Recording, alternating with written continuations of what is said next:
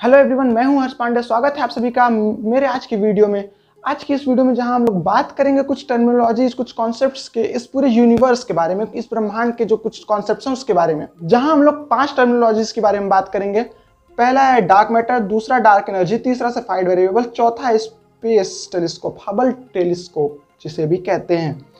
पांचवा है calculation of mass of heavenly bodies यानी कि हमारे सूरज का मास कैसे पता किया गया, किस तरीके से हमारे पृथ्वी का जो द्रव्यमान है मास है, वो कैसे पता चला, हमारी पूरी मंदाकिनी, पूरी गैलेक्सी का कैसे मास पता चला, उसके बारे में यहाँ पे बात करेंगे।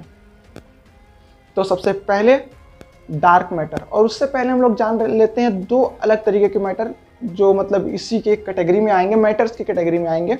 एक होता है बैरियोनिक मैटर दूसरा होता है नॉन बैरियोनिक मैटर जो बैरियोनिक मैटर होता है ये जितने भी हमारे ब्रह्मांड में इलेक्ट्रॉन, प्रोटॉन और न्यूट्रॉन से बनी हुई चीज़ें होती हैं, जिसे हम लोग जानते हैं, ये जो चीज़ें होती हैं, ये होती हैं baryonic non baryonic just electron proton neutron से नहीं बनी होती हैं। हालाँकि इनके भी कुछ भी ऐसा कोई चीज़ खोजा नहीं गया है तो कहना बहुत ही मुश्किल है। हालाँकि मैं इनका कुछ एग्ज़ाम्पल दूँगा कि क्या है नॉन बैरियोनिक मैटर्स और ये जो होते हैं बहुत ही लो प्रेशर मैटर्स होते हैं। अब बात करते हैं बैरियोनिक जो होते हैं हमारे पूरे यूनिवर्स में जो ये होते हैं, ये 4.6 परसेंट होते हैं। मतलब जितनी भी चीज़ें हम जानते हैं पूरे यूनिवर्स में वो सिर्फ़ 4.6 परसेंट है। यानी जितने पृथ्वी है, जितनी भी, जितने भी ग्रह हैं, जितने भी चंद्रमा, जितने भी आकाश हैं, जितनी भी मंदाकिनियाँ सबका वज़न मिला करके भी, जितना उनका सब एरिया मिला करके सिर्फ़ चार परसेंट होता है। और ये जो हैं, ये होते हैं ट्वेंटी परसेंट अब जो बचते हैं, इकहत्तर दशमलव छः परसेंट सॉरी इकहत्तर दशमलव चार परसेंट जो एलिमेंट्स बच रहे हैं, वो होते हैं डार्क एनर्जी ये ये जो होता है, ये इकहत्तर दशमलव चार परसेंट है पूरे ब्रह्मांड में। अब ये ज़्यादा है, इसका मतलब ये हुआ कि इस पूरे ब्रह्मांड को चलाने वाला जो फोर्स है, जो बल है, वो यही है डार्क एनर्जी है, जो इकहत्तर परसेंट तक है। अब जानते हैं डार्क मैटर ये जो डार्क मैटर होता है, ये ना कोई लाइट इमिट करता है, ना कुछ ये लाइट एब्जॉर्ब करता है। डार्क है, इसीलिए ना इमिट करता है, ना एब्जॉर्ब करता है, इसको अभी तक देखा भी नहीं गया, ना डार्क एनर्जी ना डार्क मैटर हालाँकि इसका कॉन्सेप्ट आइंस्टीन ने दे दिया था, इन दोनों का कॉन्सेप्ट पर मैं आप लोगों को बता दूँ कि ये प्रूव नहीं, अभी तक कहीं मिला नहीं है। पर माना यही जाता है कि ऐसा कुछ है हमारे ब्रह्मांड में। अब डार्क मैटर्स का मैं आप लोगों को कुछ एग्ज़ाम्पल देता हूँ। अब ये जो डार्क मैटर होते हैं, इनके कुल तीन एग्जाम्पल्स हमारे पास हैं। जो पहला एग्ज़ाम्पल है, वो है ब्राउन ड्वार्फ ब्राउन ड्वार्फ वो तारे होते हैं जिनका मास जो होता है, वो हमारे सूरज के मास का एक बीसवां हिस्सा होता है।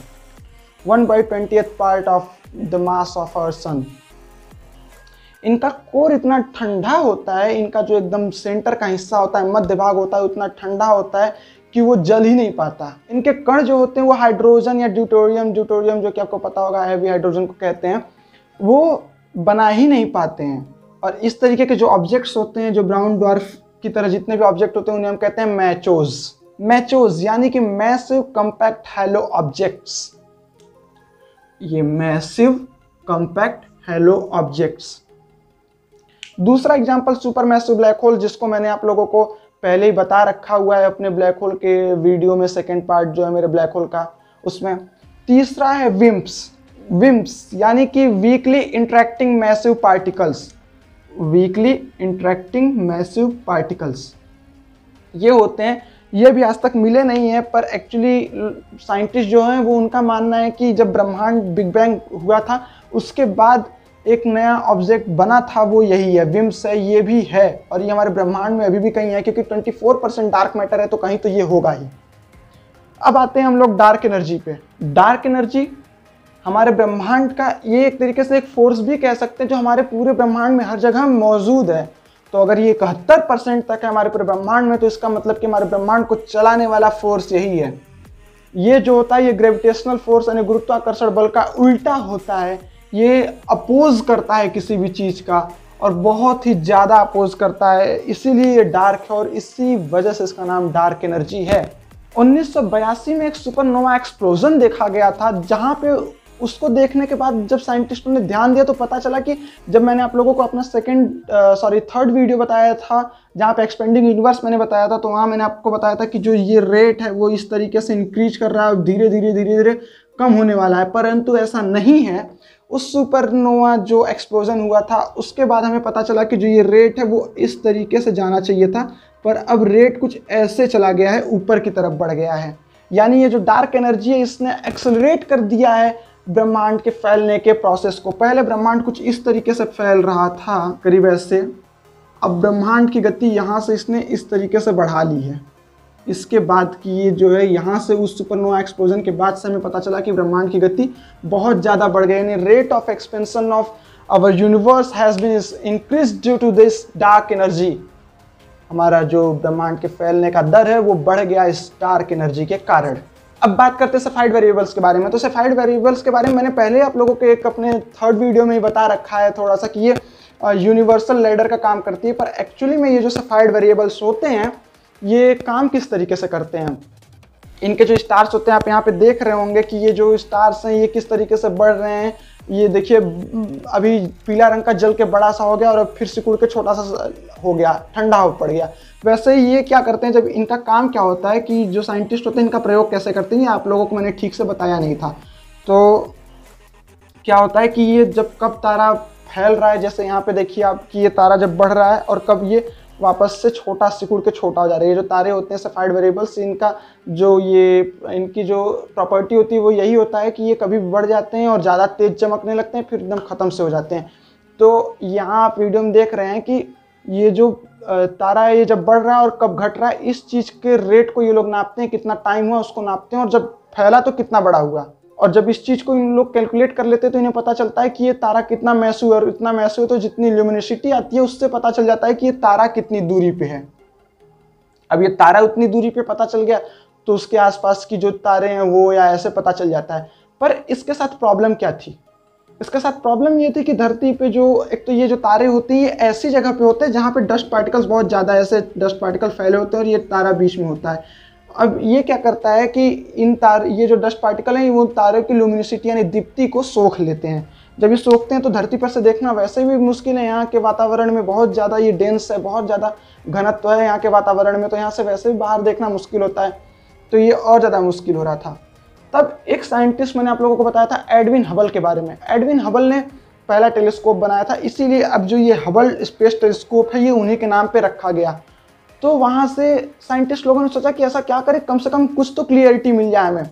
तो आप यहाँ पे ये पिक्चर देखिए सबसे पहले। ये जो पहली पिक्चर आप देख रहे हैं, ये धरती से ली गई है और जो ये दूसरी फ़ोटो आप यहाँ पे देख रहे हो, ये हबल स्पेस टेलीस्कोप से ली गई है। यानी स्पेस से ली गई है, धरती के वातावरण के बाहर। ये ज़्यादा क्लियर है। इसका कारण क्या है? ये स्पेस के बाहर से ली गई तो यहाँ के वातावरण के जो धूल है या जो भी चीज़ें हैं, वो परतें हट जाती हैं, हमें डायरेक्ट दिखाई देता है। अब हबल स्पेस टेलीस्कोप में बहुत सारे इंप्रूवमेंट्स करके 1990 आई थिंक बानवे में उसे लॉन्च किया गया था और अब वो स्पेस में चारों तरफ़ घूमता है।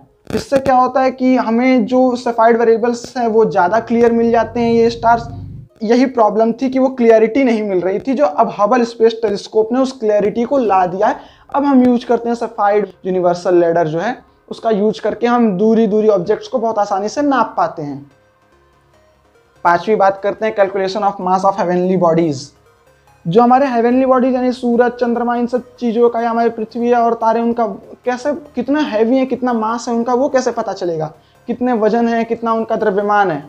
तो ये जो हमारे सूरज आपको पता होगा सेंट्रिपिटल फोर्स के बारे में। तो सेंट्रिपिटल फोर्स को हम कैलकुलेट करते हैं, वहाँ मास जो होता है, वो पता करने के लिए हमें जी की वैल्यू पता चल जाती है, क्योंकि हमारी जो धरती है, वो सूरज के चारों तरफ़ जो स्पीड से ट्रेवल कर रही है, वो 30 किलोमीटर प्रति सेकेंड की रफ्तार से ट्रेवल कर रही है। और इस तरीके से सब कुछ उन्हें पता चल जाता है। दूरी पता ही है, ये पता ही है, पृथ्वी का मास उन लोगों ने निकाल ही लिया है। तो अब जब सब कुछ उन्हें पता है तो सिर्फ़ एक मास निकालना है, वो सूरज का है, जो न्यूटन के फोर्स के जो ग्रेविटेशनल लॉ का नियम है, उससे लगा के वो सूरज का मास पता कर लेते हैं। अब गैलेक्सी का मास कैसे पता करेंगे? तो ऐसे ही चार पाँच और तारों का मास पता कर लेते हैं। तारों का तो मास पता कर लिया, लेकिन स्पीड स्पीड के लिए वो लोग क्या करते हैं कि हमारा जो सूरज 225 किलोमीटर प्रति किलोमीटर प्रति सेकंड की रफ्तार से हमारे ब्रह्मांड में घूम रहा है। तो अब उसकी भी रफ्तार पता करके और वो अपने सेंटर के चारों तरफ़ घूम रहा है तो उसका सेंट्रीपिटल फोर्स पता चल जाता है और इस तरीके से पता चल जाता है मास किस चीज़ का, हमारी गैलेक्सी का। अब ऐसे ही और भी गैलेक्सीज का और इन सब चीज़ों का हमें मास पता चल जाता है। लास्ट में मैं आप लोगों को एक और चीज़ बता देना चाहता हूँ। मेरे से किसी ने कमेंट सेक्शन में पूछा था कि अगर जब ब्लैक होल कोई भी चीज़ इमिट नहीं करती तो फिर जेट्स को सूट कैसे करता है? तो मैं आप लोगों को यहाँ पे आप वीडियो देखिए किस तरीके से इलेक्ट्रोमैग्नेटिक रेडिएशंस क्रिएट हो रही हैं। तो ब्लैक होल के मैंने आपको जो मेरा पिछला वीडियो था black hole and so black वहाँ बताया था कि जो सिंगुलरिटी होती है, उससे नहीं होता, पर उसका जो आउटर लेयर होता है, जिसे हम लोग इवेंट हॉर्जोन बोलते हैं, उसके हल्का सा बाहर जो स्पेस होता है, वहीं से गामा रेज और सब कुछ रेडिएट होती है तो वैसे उसके भी बाहर जब आप जाओगे तो यहाँ पे ये कुछ इस तरीके से बना लेते हैं अपना जो मैग्नेटिक फ़ील्ड बनाते हैं, इस मैग्नेटिक फ़ील्ड के कारण यहाँ से इस चीज़ को वो एग्जर्ट करता है, ना कि ब्लैक होल के अंदर से करता है। यहाँ से इसको सूट करता है वो बाहर, और हर दिशा में कर सकता है।